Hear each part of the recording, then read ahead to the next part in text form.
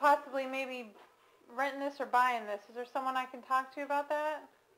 No, no mucho speaking English. The guy, the Okay, guy. the Jason, the, the number for the sign, The five two six one one eight two? Yeah, this is Jason. This is the owner.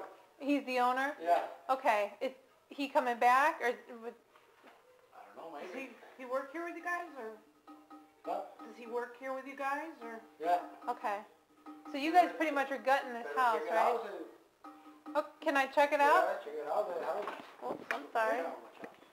What are you guys doing in- down This is the here? the- the- Oh, wow, you guys are putting in a whole bathroom. The laundry. Laundry room? Yeah. Is this waterproof? Yeah. It is waterproof? No, no waterproof. You are, is that what you're doing or? No, no leaking, no. No leaking. No leaking. Okay. What else are you guys doing to it?